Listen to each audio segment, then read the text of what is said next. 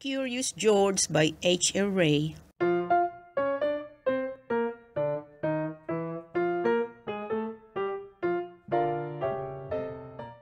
This is George.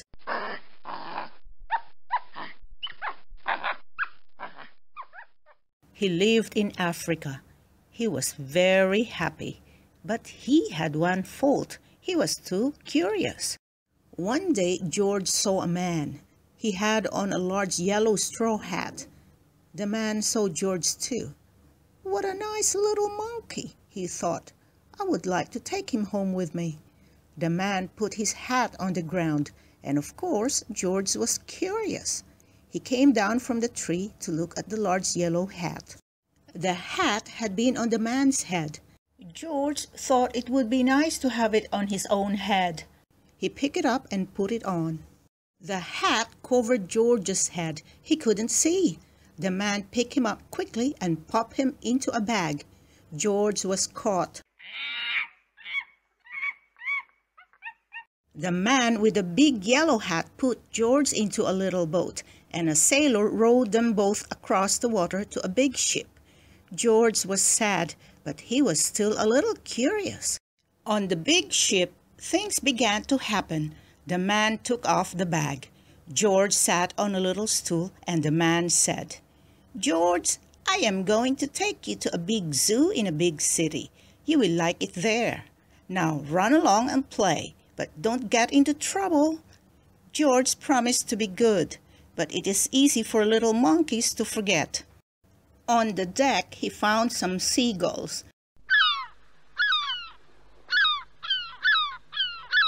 He wondered how they could fly. He was very curious. Finally, he had to try. It looked easy, but oh, what happened? First this, and then this. Where is George? The sailors looked and looked. At last they saw him struggling in the water and almost all tired out. Man overboard! The sailors cried as they threw him a lifeboat. George caught it and held on. At last he was safe on board. After that, George was more careful to be a good monkey until at last the long trip was over. George said goodbye to the kind sailors, and he and the man with the yellow hat walked off the ship onto the shore and on into the city to the man's house. After a good meal and a good pipe, George felt very tired. He crawled into bed and fell asleep at once. The next morning, the man telephoned the zoo. George watched him. He was fascinated. Then the man went away. George was curious. He wanted to telephone too. One, two, three, four, five, six, seven. What fun! George had telephoned the fire station. The fireman rushed to the telephone.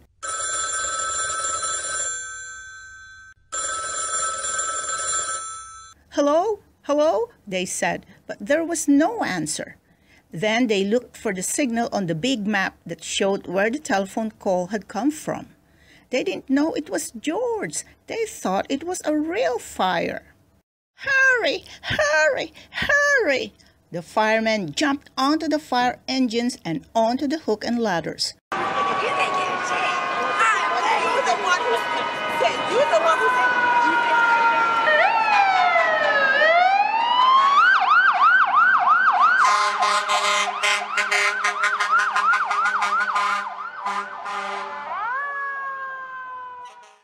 Everyone out of the way! Hurry! Hurry! Hurry! The firemen rushed into the house. They opened the door. No fire! Only another little monkey. Oh, catch him! Catch him! They cried. George tried to run away.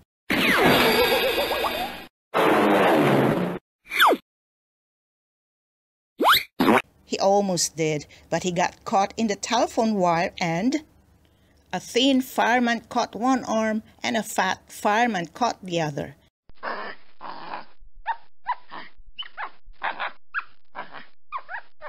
You fooled the fire department, they said. We will have to shut you up where you can't do any more harm. They took him away and shut him in a prison. George wanted to get out. He climbed up to the window to try the bars. Just then the watchman came in. He got on the wooden bed to catch George, but the watchman was too big and heavy. The bed tipped up, the watchman fell over, and, quick as lightning, George ran out through the open door.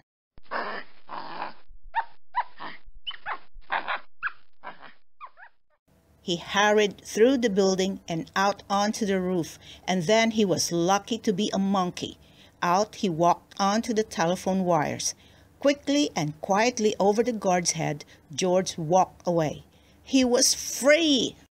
Down in the street outside the prison wall stood a balloon man.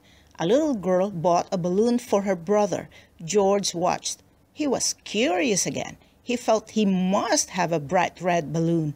He reached over and tried to help himself, but instead of one balloon, the whole bunch broke loose. In an instant, the wind whisked them all away, and with them went George, holding tight with both hands.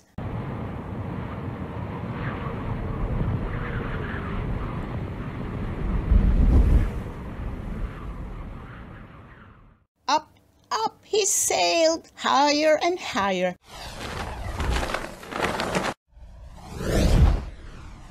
The houses looked like toy houses and the people like dolls. George was frightened. He held on very tight.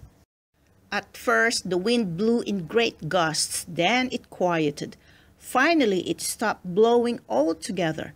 George was very tired. Down, down he went, bump, onto the top of a traffic light. Everyone was surprised. The traffic got all mixed up.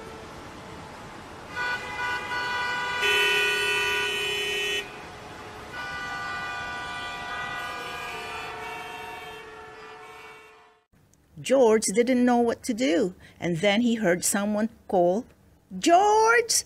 He looked down and saw his friend, the man with the big yellow hat. George was very happy. The man was happy too.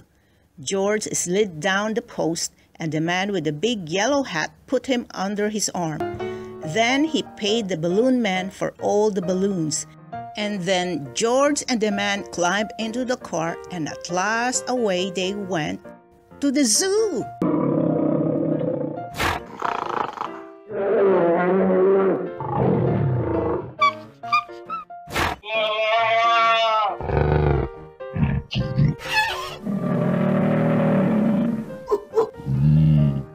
A nice place for George to live.